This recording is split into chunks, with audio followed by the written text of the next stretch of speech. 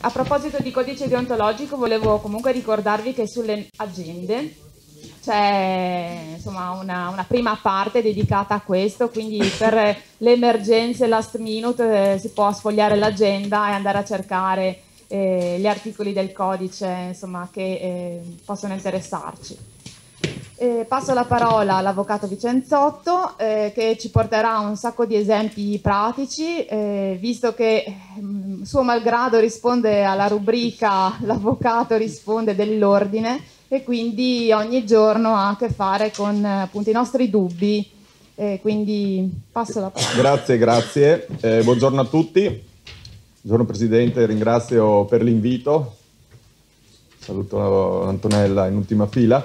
E, sì, temi complessi, abbiamo già visto sul tavolo un sacco di, un, un sacco di situazioni che insomma noi tutto sommato passiamo la nostra vita a studiare i meandri della mente e dopo ci troviamo a che fare con le denunce, le querele, l'articolo 622 del codice penale, il commercialista, le fatture e questa è una cosa veramente eh, devastante. Per, eh, no, no, lo, lo, dico anche perché io e il buon Marco, che ho, ho il piacere veramente di conoscere, dovremmo scrivere un libro perché io ho quanti? Una centinaia di lettere, perché faccio una rubrica tipo novella 2000 dell'avvocato nel sito dell'ordine. Cosa vuol dire? Che non entro proprio nel merito andando a vedere le carte, ma insomma uno mi scrive, dice avvocato, è successo questo e questo, io più o meno, più o meno gli do. Però è un ottimo spunto, perché se io ti passassi tutti i quesiti, avresti la ragazza un... mi ucciderebbe prima.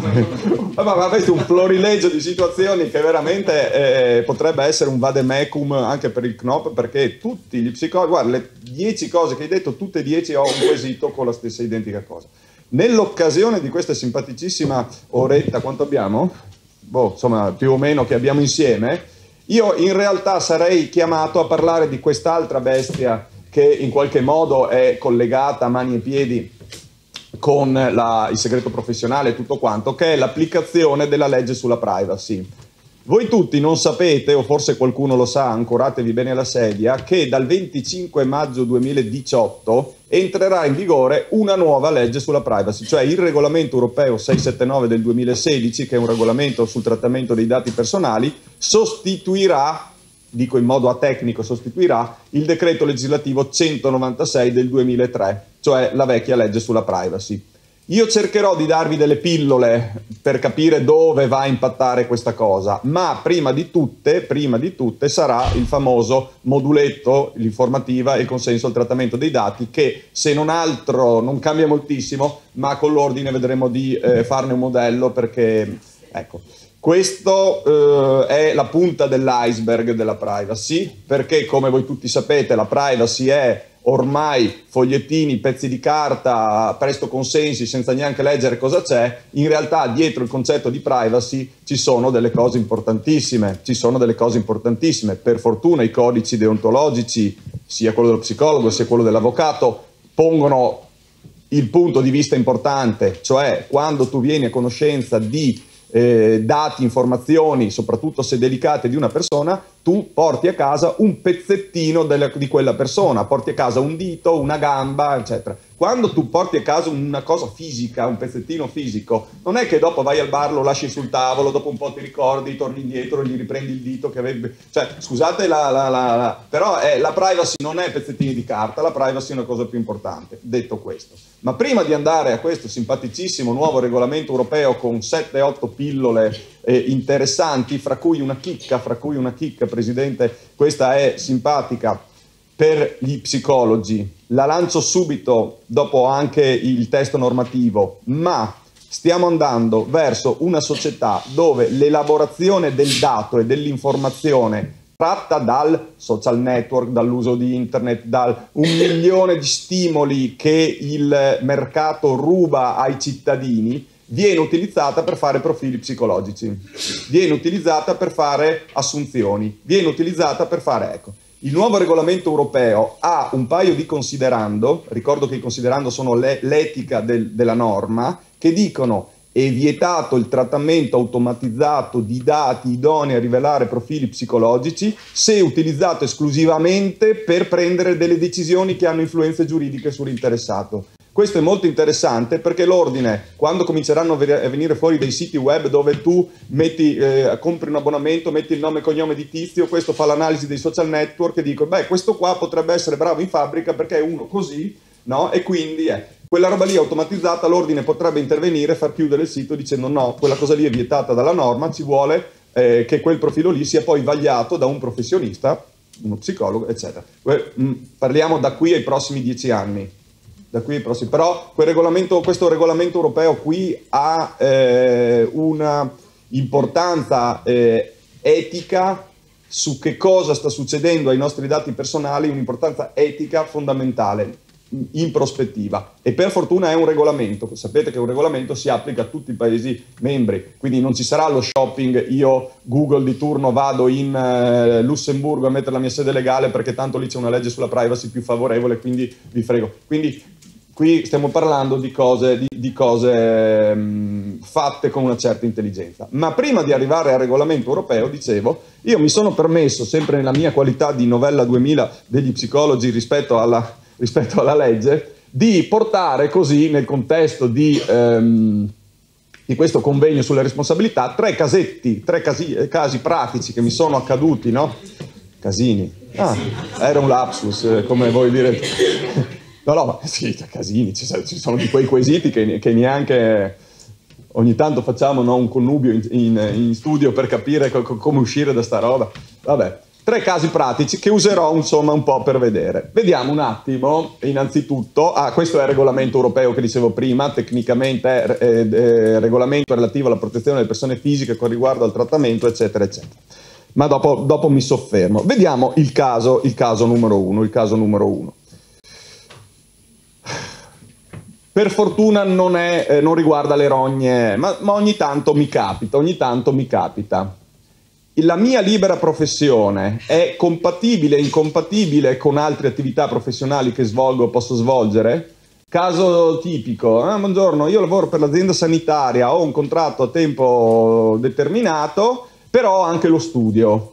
Posso, non posso? Oppure sono dipendente a tempo indeterminato del eh, centro salute mentale, eccetera. Posso svolgere? La questione è ovviamente bisogna sempre andare a vedere il caso concreto, cioè andare a vedere il contratto. Vediamo la domanda, le scrivo per un quesito relativo ad un possibile conflitto di interesse, perché poi c'è anche il tema del conflitto di interesse, no? Attualmente lavoro come consulente per un'azienda all'interno della quale svolgo diverse tipologie di attività, ma non percorsi di psicoterapia, poiché non previsti nel mio contratto. Recentemente una persona che ho visto all'interno dell'azienda per un colloquio clinico, richiesto come approfondimento dal medico aziendale, ha manifestato l'interesse a seguire un percorso di psicoterapia, no? Quindi, per quanto suddetto, tale percorso potrebbe svolgersi solo all'interno di un contesto privato, ma l'azienda sostiene che ciò non sia possibile, in quanto né etico né legale. Quindi l'OE ha dato lì e ha detto, guarda, uno mi ha chiesto se può venire Posso, l'azienda giustamente cosa ha detto? Non esiste, tu lavori per me, io ti pago e sei mia, tutta mia, solamente mia. Le chiedo gentilmente un parere. Allora lì io ovviamente non avendo in mano il contratto di lavoro eh, ho dato un, un'idea generale e in linea generale ho detto fate attenzione, se lavorate per una pubblica amministrazione ci sono due norme che l'articolo 53 del decreto legislativo 165 del 2001 e un DPR che è il DPR 62 2013 dove si dice che chi lavora per la pubblica amministrazione è sposato con la pubblica amministrazione e non può avere scappatelle con altri datori di lavoro, siano essi a tempo determinato, a tempo indeterminato, libera professione, in nero e, e tutto quello che volete. Questo vuol dire che se eh, lavorate per un comune e voi avete alle 4 del pomeriggio il vostro studio dove ricevete e il comune se ne accorge, è è possibile il licenziamento perché è una causa, giusta causa di licenziamento. A meno che, a meno che, a meno che non abbiate due cose. O l'autorizzazione 53 eh, bis, ma l'autorizzazione ormai viene data per cose occasionali, non in conflitto di interesse, ma viene valutata. Due, o avete un part-time sotto il 50% delle ore. Allora in quel caso lì potete fare quello che volete. Pubblica amministrazione sto parlando. Mentre se lavori con un privato, e per privato intendo la signora che lavorava nell'azienda, un'associazione, molto spesso le associazioni danno molto lavoro ai, ai, e puoi essere dipendente o avere un contratto di consulenza con questa. Se avete un contratto di consulenza, bisogna guardare il contratto. Se nel contratto c'è scritto voi darete la consulenza all'azienda Pinco Pallino, l'azienda è fino al 2018, con una clausola di non concorrenza o con una clausola di esclusiva. Ecco, allora lì si ragiona nel, eh, nel fatto che es- essendoci la clausola di esclusiva, contrattualmente voi se fate qualcos'altro potreste infrangere, quindi violare l'obbligazione di quella clausola e essere soggetti a una richiesta di risarcimento. Mai visto e mai accaduto. Comunque, se mai dovessero farvi dei contratti di prestazione professionale, leggeteli bene o fateli leggere mandateli alla rubrica l'avvocato risponde. Per, no perché è, è, è, giusto sono quelle clausolette lì quelle che potrebbero fregarti. Altrimenti ovviamente siete assolutamente libere Mentre, stessa cosa, stessa cosa eh, se ci fosse nel, nel, contratto di lavoro a tempo indeterminato, cioè ci sono aziende che pongono delle clausole di esclusiva nei contratti di lavoro a tempo indeterminato. Se invece lavorate per un privato e non ci sono clausole, il contratto in sé, per, cioè il fatto che tu lavori per un privato non, è, eh, non presuppone l'esclusiva, quindi tu alle 9 di sera potresti fare la tua libera professione. Eh, attenzione questo dal punto di vista deontologico, che lo psicologo, articolo 40, non assume pubblicamente comportamenti scorretti finalizzati al procacciamento della clientela. Quindi io lavoro in un'azienda e dopo per sotto passo il biglietto da visita e dico vecchio, vieni da me che sono bravo. Eh, no, quella cosa no. E poi, articolo 22, l'obbligo di non procurarsi indebiti vantaggi utilizzando il proprio ruolo e i propri strumenti professionali e questa è l'altra, l'altra sfaccettatura. Andiamo a vedere un altro caso, il secondo, e tocca proprio quella questione, guarda, eh, mi, mi, veniva da ridere perché le slide io le avevo fatte ancora a suo tempo, quella questione sulle CTU, CTP, la mia libertà nella CTP, il mio ruolo di avvocato. Prima dicevi le, l'avvocato chiede allo psicologo fammi una relazione per dire che questa qua è fuori di testa, così io vado nella separazione e ho un'arma in più classica sta roba, cioè è l'avvocato che manca di cultura di, dello psicologo. Lo, lo, psicologo non è una, un, un, distributore automatico di bevande dove metti la moneta e ti viene fuori il coso. Eppure ci sono anche colleghi nostri dove, sì, a me è capitato una cosa con una collega nostra dove ha avuto una relazione da uno psicologo, dove oltretutto non solo eh, parlava del, del, suo cliente, ma parlava anche di altri, questa li deposita in giudizio e quell'altro lo, minaccia di citarlo per violazione della privacy perché ha spifferato, boh, lì siamo in un altro campo, però capite che guai possono comportare queste cose. Vediamo il caso perché è molto particolare. Vorrei chiederle quali sono, gentile avvocato, novella Doni, gentile avvocato, vorrei chiedere quali sono i confini professionali e di responsabilità anche deontologica di una prestazione di consulenza svolta in qualità di CTP in un processo civile, ovviamente di separazione. L'avvocato mi ha chiesto di calcare alcune parti di mie relazioni e di portare il CTU a conclusioni specifiche. Cioè questo lo dobbiamo tirare, il CTU è il consulente d'ufficio, no? il CTP è... Alla fine il, eh, il, CTU, cioè, il, CTU, ha fatto la sua relazione e l'avvocato, contento o meno del mio operato, era scontentissimo, mi ha chiesto di mostrargli tutte le carte che ho raccolto per la prestazione, in particolare quelle che non ho presentato al CTU nella causa. Cioè, adesso voglio vedere io se hai fatto bene il tuo dovere, perché ti faccio un mazzo così perché abbiamo perso la causa perché il CTU si è appiattito completamente alle tesi dell'altro CTP e quindi noi eh, siamo rimasti fregati. No? Allora qui io vi lascio le slide perché sono sicuro che questa sera, anziché andare agli aperitivi, vedrete tutte le slide del convegno, ma in realtà il ruolo del CTU è nel processo, è quello di rispondere a eventuali quesiti, quindi il CTU è, è tante volte, no, Avvocato Cino, il CTU è quello che vince, fa vincere e perdere le cause, il 99%, no? quindi eh, sì, voi potete andare da un bravo avvocato, ma se non, se non viene il CTU giusto la causa la perdete, ma questo è un altro discorso e andrebbe approfondito. Molto più delicato invece è il ruolo del CTP. Il CTP, ho cercato di, di tirar fuori una definizione, e que- il, il ruolo del CTP è quello di affiancare il CTU in ogni sua attività al fine di sostenere o contestare le osservazioni da lui prodotte qualora esse si rivelino non confacenti nei limiti di scienza e coscienza, cioè veramente si arriva alla etica dopo, nei limiti di scienza e coscienza agli interessi della parte per cui egli lavora ed in sostanza alla linea difensiva dettata all'avvocato. Quindi le due tesi opposte sono io sono il CTP dell'avvocato Cino, psicologo, io sono psicologo e lui è l'avvocato, non devo fare io il CTU, sono eh, come posso dire, organico ad una linea difensiva del mio avvocato, ma coscienza e coscienza, e questa è la grande difficoltà, e questa è la grande difficoltà. Sei consulente dell'avvocato, parte che ti commissiona l'incarico. Quindi è chiaro che non puoi scrivere cose false, è chiaro che non puoi scrivere cose tendenziose, è chiaro che non puoi scrivere... E questa cosa deve essere messa chiaramente in luce all'inizio del rapporto, perché se no si arriva a... Eh, allora eh, no, si, arri- si arriva lì. Quindi patti chiari, amicizia lunga. Poi ovviamente nella mia eh, etica professionale e nel mio anche punto di vista scientifico io posso calcare magari anche, come posso dire, mh, mm, eh, retoricamente alcune parti e però sempre nel contesto, ok? Quindi L'attività svolta dal CTP, oltretutto da un punto di vista giuridico, dopo forse Alberto ne parlerà di più, si inquadra nel contratto di prestazione d'opera professionale e pertanto il consulente sarà tenuto a usare una diligenza professionale elevata e quindi io non posso inventarmi cose, no? Eh, perché vado a violare anche un articolo del codice civile oltre che deontologico. Quindi nel caso che è successo in quella situazione lì, Tizio, eh, lo, lo, psicologo fa la sua parte CTP, viene sconfessato pienamente, eh, l'avvocato arrabbiato nero vuole boh, forse fare causa per il risarcimento, per chiedere, no, perché non ti sei comportato bene, e allora gli chiede, gli chiede tutte le cartine, soprattutto quelle che non hai dato o quelle che non hai mostrato nella, nella CPU, no? Come mi devo comportare? Se l'avvocato mi chiede il materiale, cosa devo dare? Per correttezza e massima collaborazione col tuo committente, io gli darei tutto il materiale effettivamente utilizzato nel corso della CTU. Non è un segreto, eh, eh, quello non è un problema. Anche e soprattutto quando, ehm, eh, no, quello presentato in sede di perizia. Mentre escludo informazioni su soggetti terzi assolutamente estranei ai fatti di, cla- di, causa, che magari ho raccolto nella mia, si parla della nonna, della zia, eh, eccetera, e dal punto di vista deontologico, segreto professionale, c'è con il mio avvocato? C'è, sicuramente c'è, però c'è un altro articolo che dice nel caso di collaborazioni con altri soggetti parimenti tenuti al segreto professionale, lo psicologo può condividere soltanto le informazioni strettamente necessarie in relazione al tipo di collaborazione.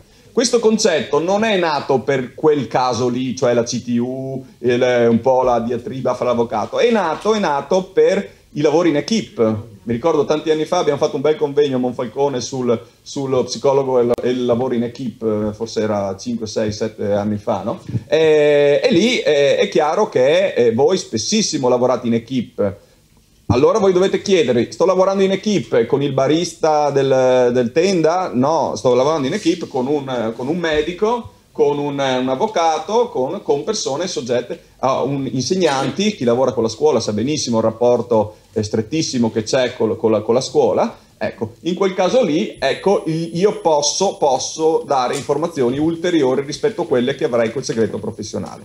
Tornando al nostro caso, tornando al nostro caso, non ritenga che l'avvocato possa intimare, cioè quindi che tu sia obbligato a dargli tutte le informazioni, ma in un'ottica di rapporto collaborativo, anche alla luce dell'articolo precedente, qualcosa si può far vedere. Ma non siamo schiavi dell'avvocato, questo è il messaggio che passa. Caso 3, denominato panico. Denominato panico eh, perché, vediamolo, sono stata contattata dalla madre di una ragazza di 17 anni perché la figlia cominciasse un percorso di sostegno psicologico per richiesta della ragazza stessa.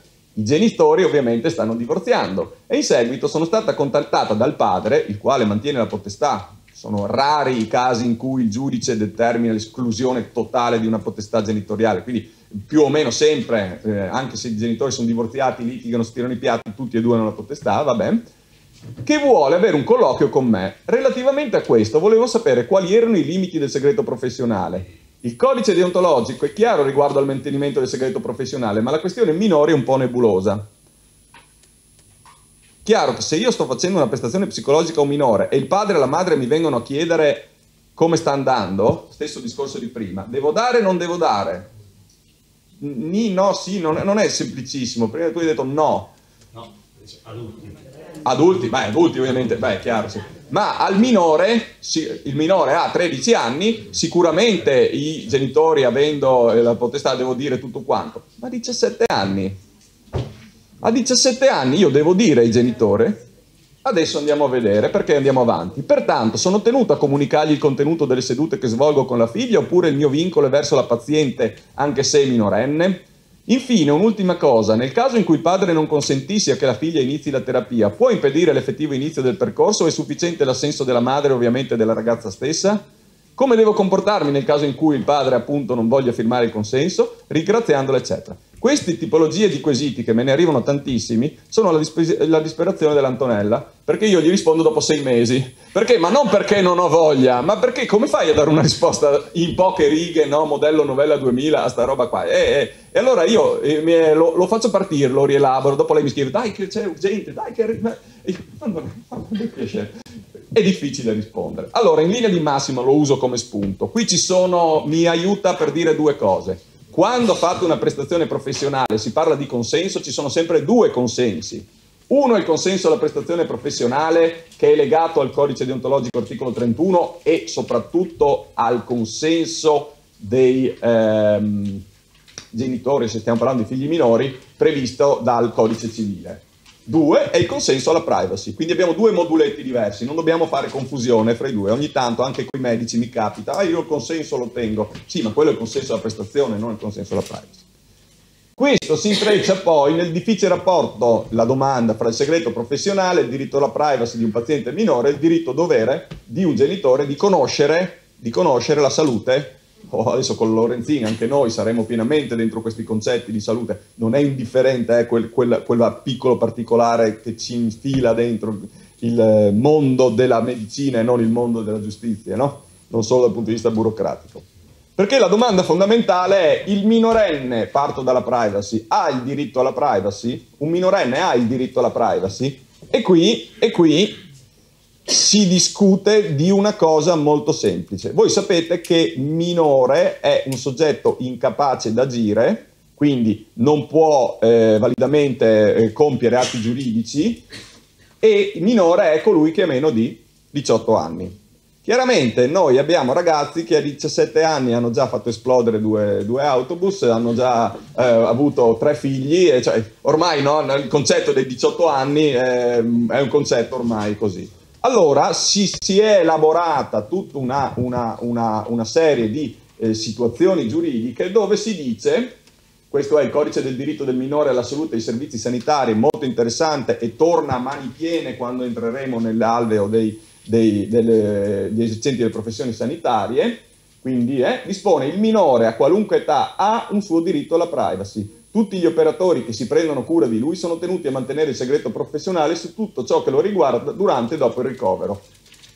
Frase molto molto contestabile, va, va, va, contestualizzata perché poi dicono, attenzione, quando si parla di minore con tutela alla privacy, non è qualunque minore, ma un minore che abbia dimostrato un minimo di consapevolezza delle conseguenze delle sue azioni. Quindi si parla di minori sicuramente sopra i 14-15 anni, con una valutazione di chi?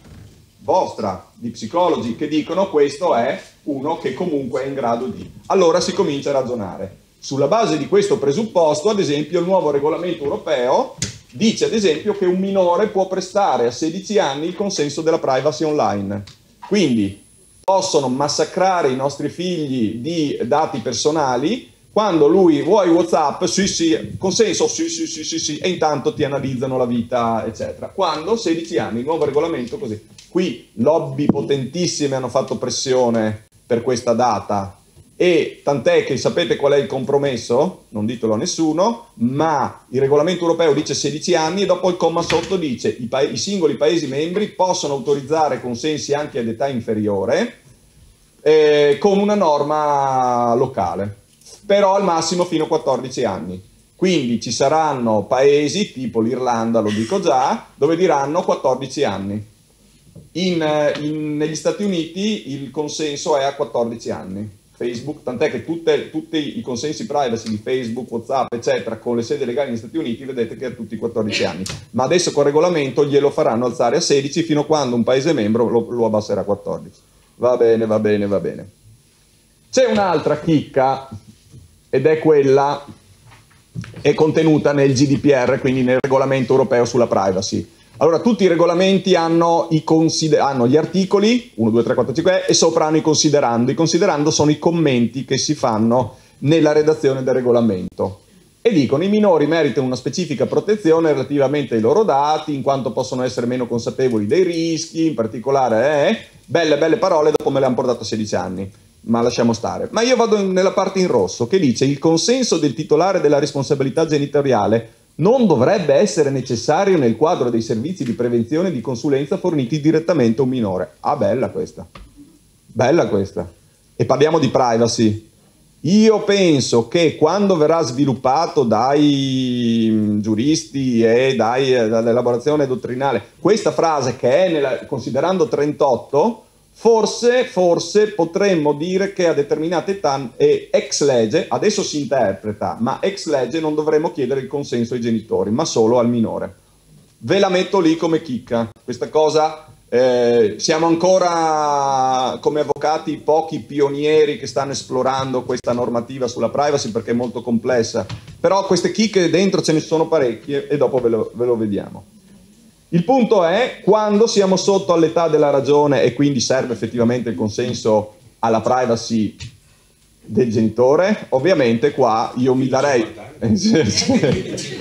Sicur- ah, ecco, sarebbe una bella cosa. No, no, io direi, io direi eh, di tenerci alla luce di tutto questo il 16 anni, ma mh, mm, fino a quando non svilupperanno quella piccola parte dell'articolo 38 del considerando, continuiamo come abbiamo sempre fatto.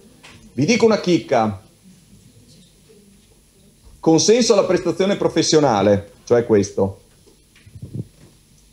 Articolo 31, codice deontologico, eccetera. Serve di entrambi i genitori, senza se e senza ma, come benissimo ha detto Marco prima. Consenso alla privacy serve di entrambi i genitori?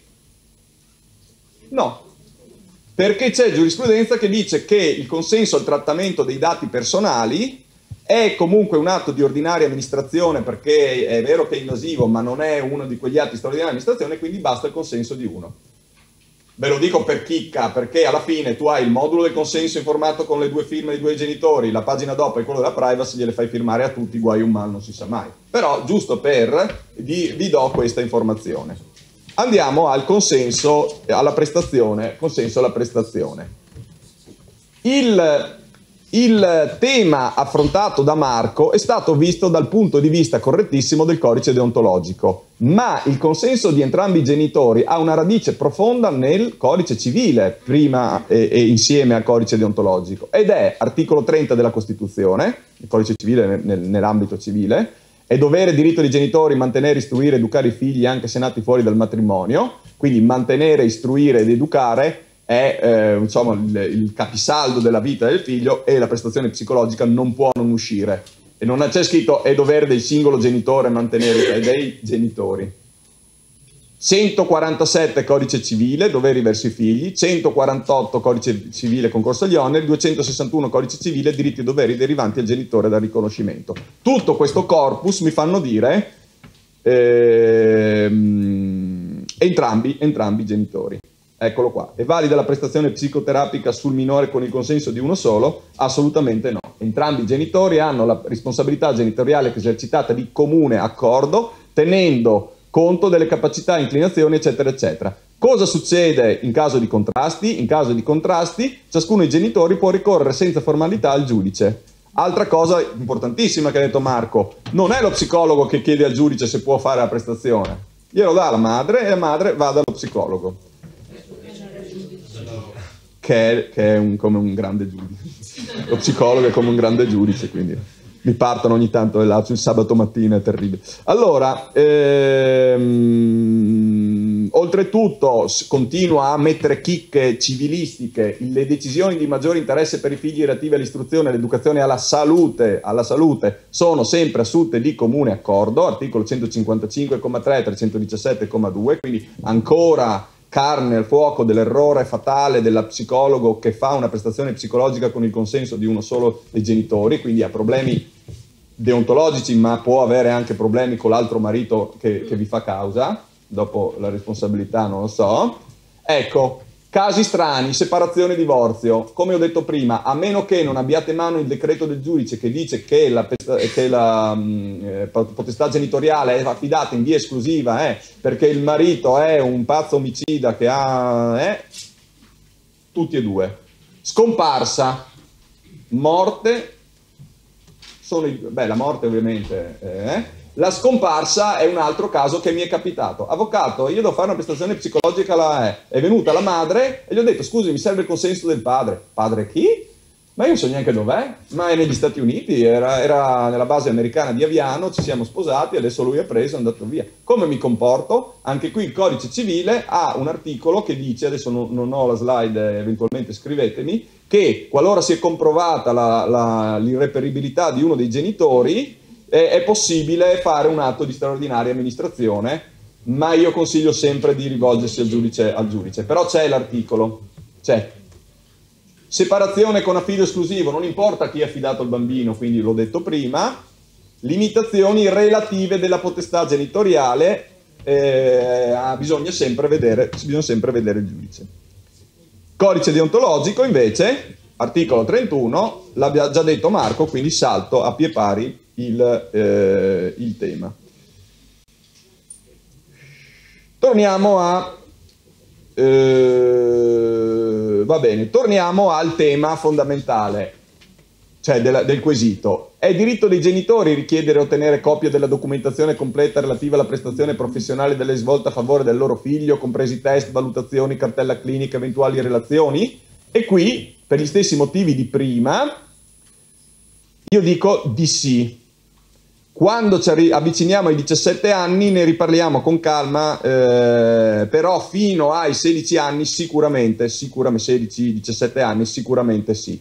La diciassettenne dipende, vediamo il contesto. Oltretutto, oltretutto, per chi lavora nella pubblica amministrazione c'è lo stramaledetto, tra virgolette, diritto di accesso agli atti, che ricordo oggi è diritto di accesso 241 del 90, e hanno introdotto un altro diritto di accesso con una recente riforma che si chiama FOIA, che non è una malattia ma è un Freedom of Information Act, è il diritto di chiunque di vedere cosa sta facendo una pubblica amministrazione, non è il caso di parlarne, ma non riguarda dati sensibili, quindi se fosse un FOIA no, voi non date niente, ma se è una 24190, cioè affido esclusivo, eh, non so, eh, eh, mi, è, mi è capitata questa cosa assurda.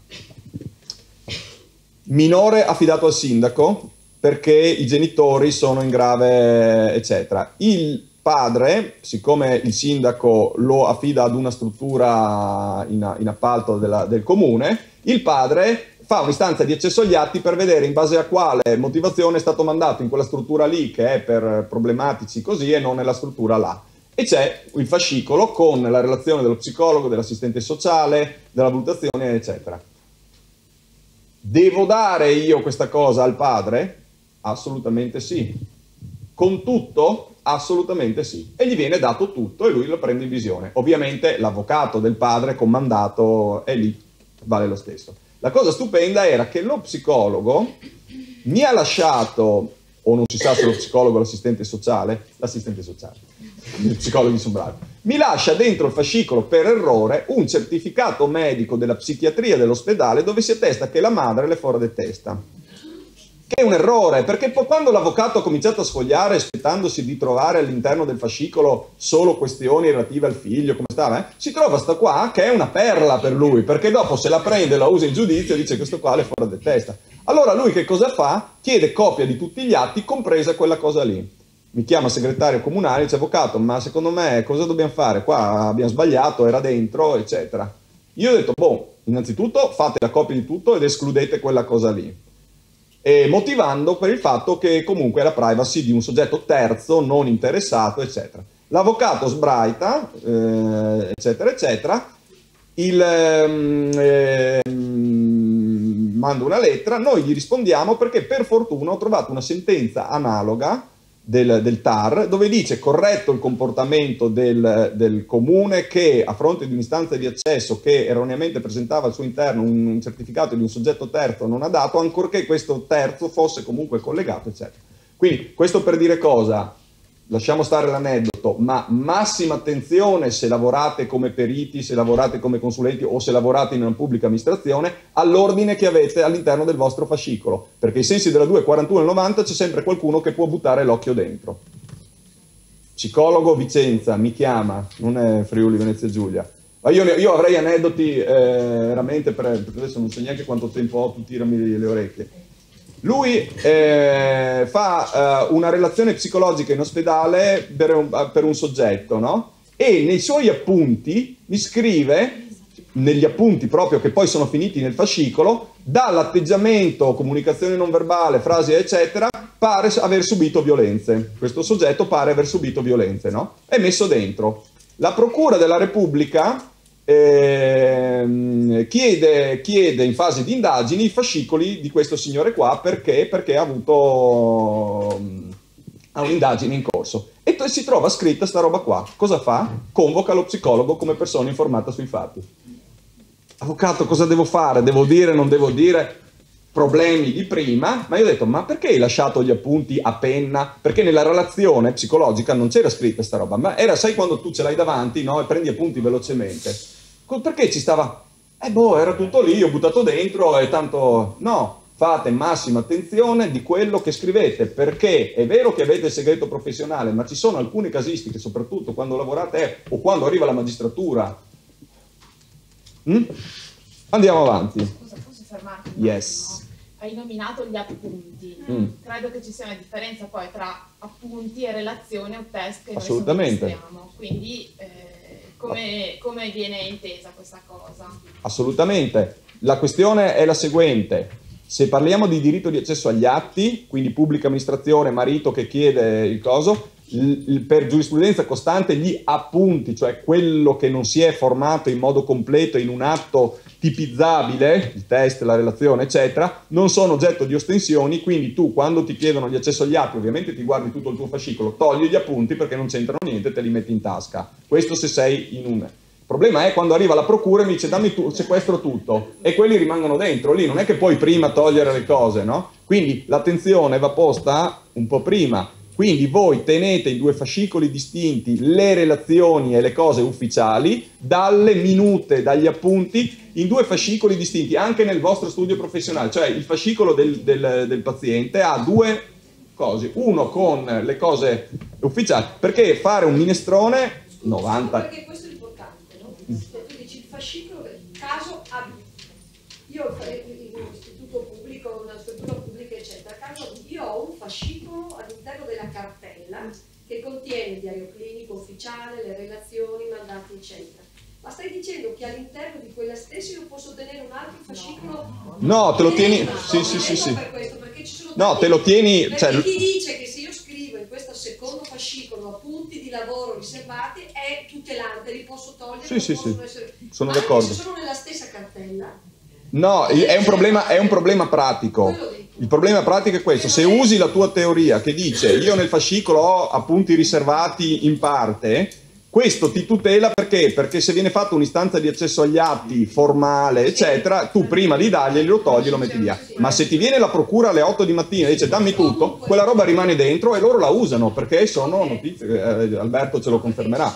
Quindi, ergo, quando noi abbiamo queste situazioni molto al limite, eccetera, chiaro non possiamo fare una regola per tutti e solo nelle situazioni al limite, gli appunti riservati dove io mi sono fatto le mie indicazioni e che facendomi una domanda al contrario è se questa roba finisse in mano alla carabinieri, cosa, cosa sarebbero, cosa verrebbe fuori un casino? Bene, quella roba lì ce la portiamo in un armadio chiuso a chiave nel mio studio o fuori dal fascicolo ufficiale.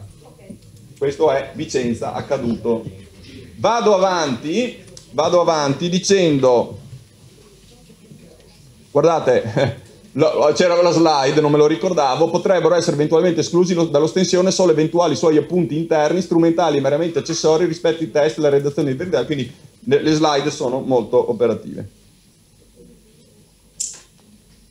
Con l'occasione vi dico quanto tempo devo conservare i, i fascicoli dei miei clienti, no? eh, clienti pazienti. Il, la teoria nostra è tengo tutto guai un mal, no? Io- per sempre. Noi abbiamo garage, chi è psicologi con i capelli bianchi che hanno garage del- pieni di, di fascicoli. Ecco, è una questione molto delicata quella. In realtà il codice deontologico mi dice per almeno 5 anni successivi alla conclusione del rapporto professionale.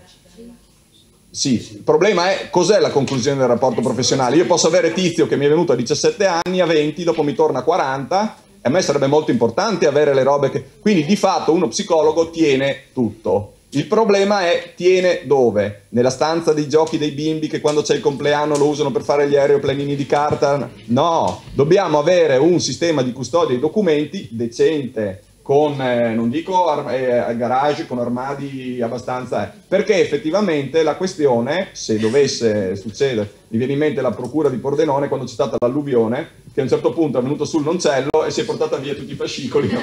dei penali, no? No, delle separazioni, sai quelli sotto, no? Quindi massima attenzione di dove custodite. Ultima cosa che dico su questo è, e se io voglio buttare via fascicoli vecchi, eccetera, non li portate in discarica o li mettete nel coso. Ci sono delle società specializzate perché, che per 4 lire vi garantiscono la distruzione, sminuzzamento del, del fascicolo. Eh? Sì, sì, è vero, perché però io, io ho avuto... eh, gennaio no, ma è... No, no, è vero, sì, è il caminetto è la cosa migliore. Ma io ho avuto pubbliche amministrazioni, il CIM, il CIE, che, che hanno stanze così, cioè... Adesso qua non ci sono studi grossissimi, ci sono studi anche eh, che hanno, hanno 30, 40, 50 professionisti e dopo hanno- devono smaltire grossi numeri. Ok? Bene. Con la nostra calmina calmetta siamo arrivati finalmente al regolamento europeo eh, sulla privacy. Abbiamo parlato di privacy in questi tre casi che ho scelto, insomma, però adesso andiamo a vedere cosa dice questo simpatico regolamento.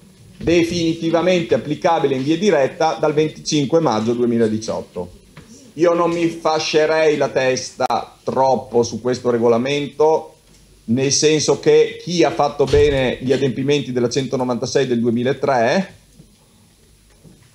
con buon senso e intelligenza, è più o meno, è molto più orientato su altri problemi. Però il tema, il tema ve lo pongo. Eh, la privacy, la privacy, la privacy è, una, è una questione molto, molto delicata, anche da un punto di vista sociologico, etico, mh, culturale. Il primo concetto di privacy 1890 Stati Uniti, Warren e Brandeis, era right to be let alone, che è il concetto di privacy un po' che abbiamo noi, diritto di essere lasciati in pace, cioè io voglio avere un angolo della mia vita dove mi faccio i cavoli miei e nessuno viene a sapere che cosa sto facendo. È un diritto innato, cioè proprio uno dei diritti fondamentali come il diritto alla libertà, l'onore, la reputazione, cioè proprio uno dei diritti costituzionali, il diritto di essere lasciati in pace. Tanto che nelle, nelle dittature la prima cosa che salta è la, è- è la- la riservatezza, cioè tu devi far sapere tutto al regime, cosa- dove stai navigando, cosa stai facendo, eccetera. Secondo, dopo un po', siamo negli anni, vabbè lasciamo stare le date, diritto all'autodeterminazione informativa. Questa è una definizione di Stefano Rodotà, un eh, costituzionalista che ci ha lasciato, è secondo garante della privacy italiano, e dice la privacy, oggi come oggi, è la proiezione che tu hai grazie alle informazioni che dai a tanti signori che te le chiedono. Quindi tu sei tante cose, tu sei tante cose in tanti titolari diversi. Devi decidere tu che cosa vuoi che quello lì sappia, come con l'informativa, e se lo vuoi devi dargli il consenso. Quindi l'informativa e il consenso è autodeterminazione informativa.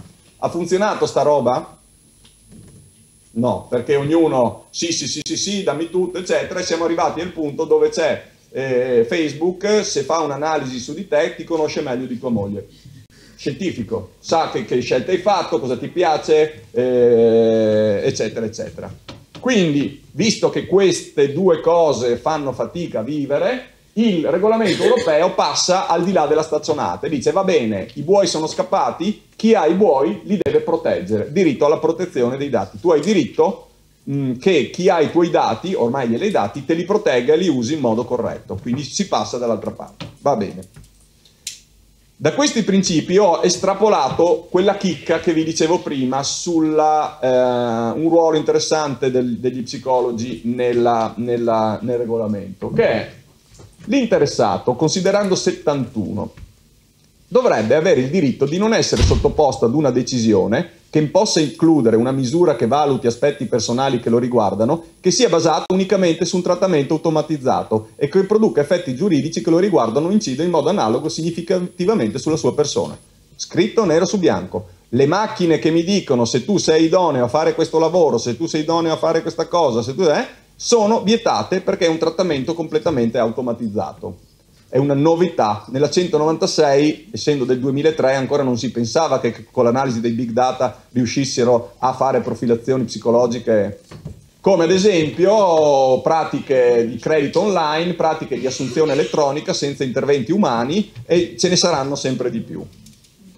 Tale trattamento comprende la profilazione, che consiste in una forma di trattamento automatizzato di dati che valuta aspetti personali concernenti una persona fisica, in particolare al fine di analizzare o prevedere aspetti riguardanti il rendimento professionale, la situazione economica, la salute, le preferenze o gli interessi personali, l'affidabilità o il comportamento, l'ubicazione e gli spostamenti, ove ci produca effetti giuridici che lo riguardano e incidono in modo analogo significativamente sulla persona.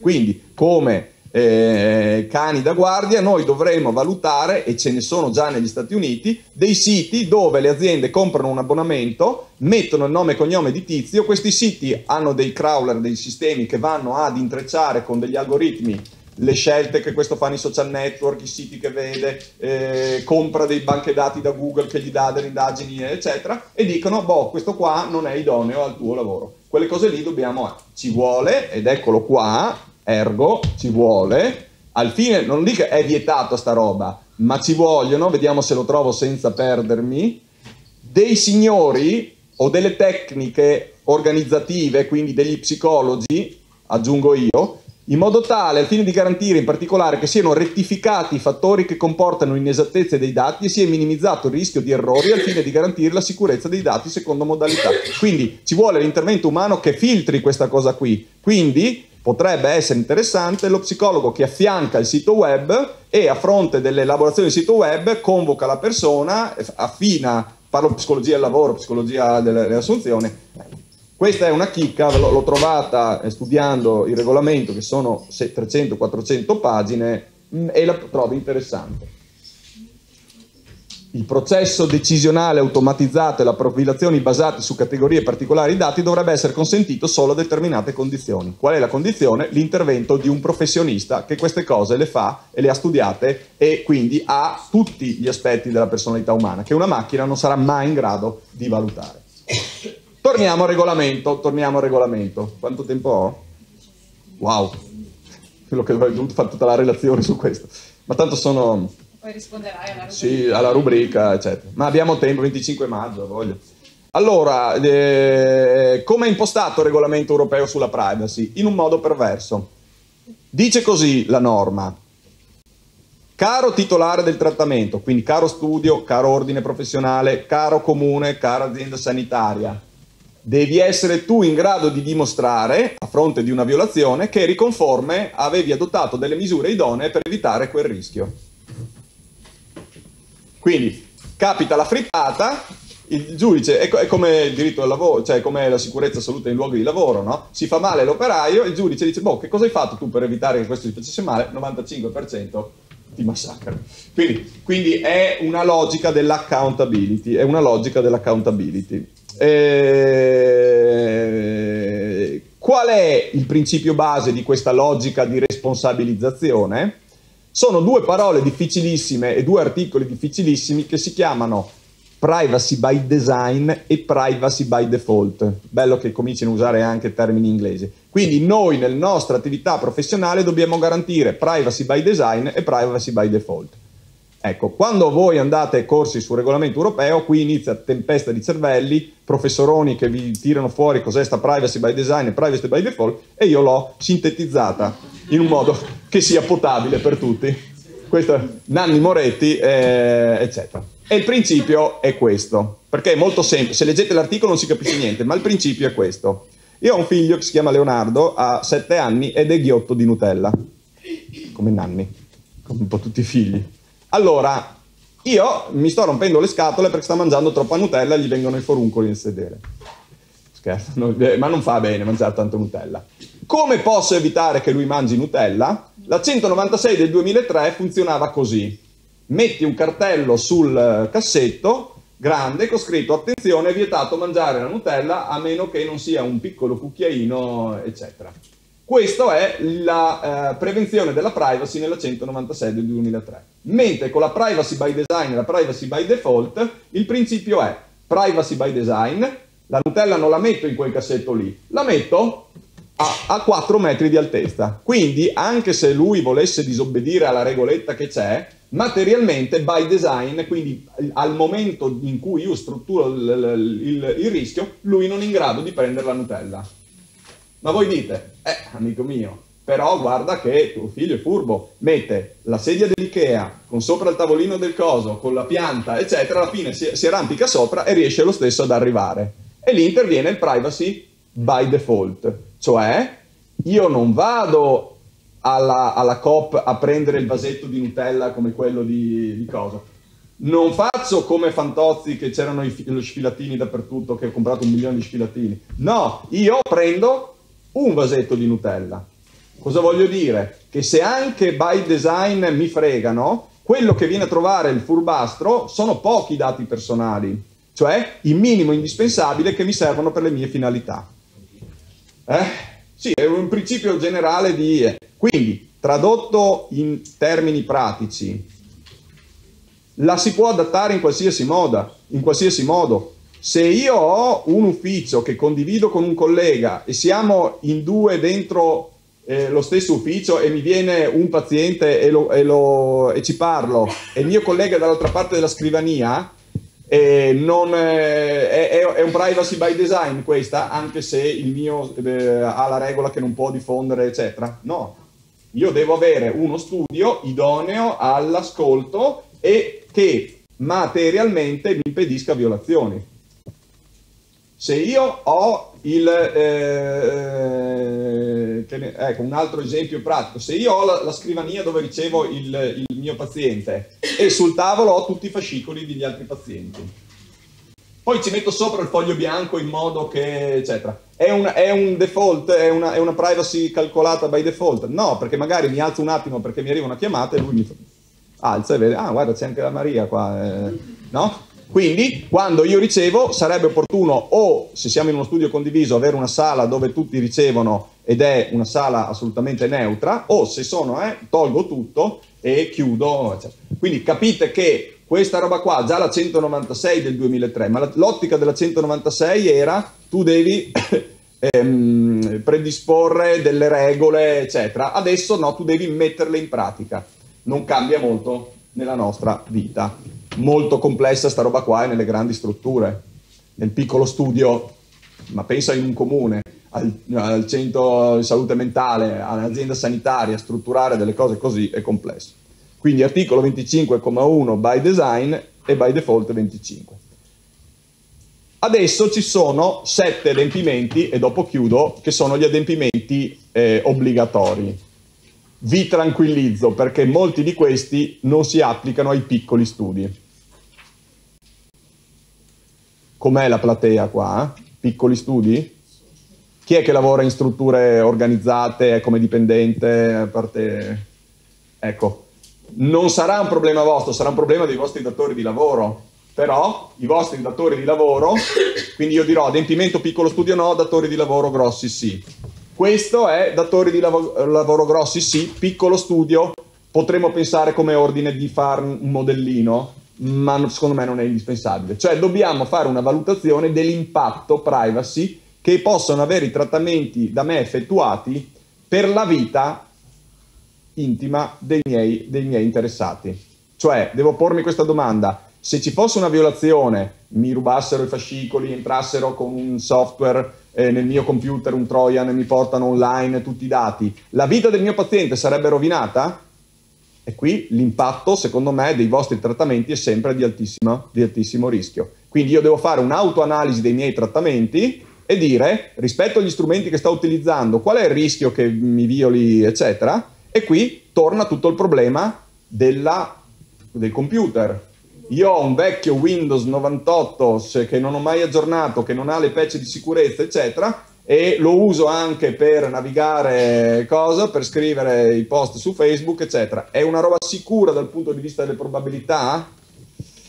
No, io devo cominciare a interessarmi del fatto che il mio strumento di lavoro è uno strumento accessibile da fuori, non dagli hacker. Eh? Non pensate che ci sia un hacker con la sigaretta eh, che viene a puntare voi. Ormai gli hacker non esistono. Ci sono dei robot che sparano dei, dei, dei, dei file ed entrano o per criptarvi l'hard disk. Chi è che ha preso il CryptoLocker?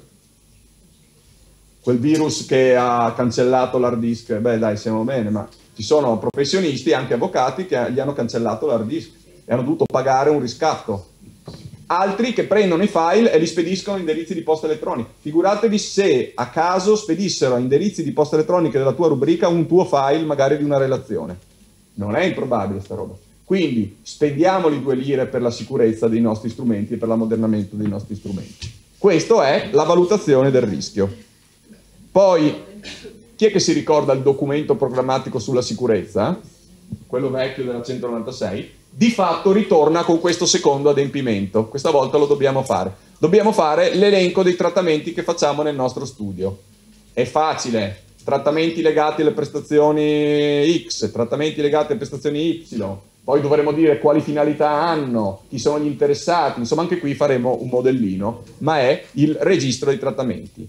Allora, mentre l'adempimento 1 era solo per i grandi studi e forse lo, eh, e le organizzazioni, e forse lo faremo anche per i piccoli, per il 2 è obbligatorio per tutti. Quindi noi avremo un, basta un foglio Excel, eh, non servono grandi cose, ma che abbia l'elenco di tutte le finalità del trattamento, le categorie degli interessati. Eh, ecco, di questi mi soffermo su una cosa trasferimenti di dati personali verso un paese terzo. Voi direte, ma chi se ne frega, io mica trasferisco i dati in Slovenia eh, o in, o in Uzbekistan? No, ma avete Dropbox? Usate Google Drive? Quella cosa lì vanno a finire su server all'estero. Allora vi dico questo, i grossi player, Dropbox, Google Drive, iCloud, di, di, di server cloud, stanno adempiendo la norma europea e metteranno il server in Europa. Quindi non dovremo avere problemi. Però non si sa mai che servizi usiamo. Per, eh, se fossero servizi che vanno all'estero, non dovremmo dirlo nel registro di trattamenti e non sarebbe lecito.